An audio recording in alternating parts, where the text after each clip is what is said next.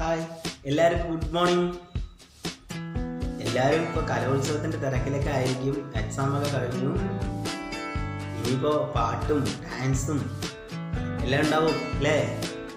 അപ്പോൾ അതിന്റെ കൂടെ നമുക്ക് കുറച്ച് ഫിസിക്കൽ എക്സസൈസ് ചെയ്താലോ? ഓക്കെ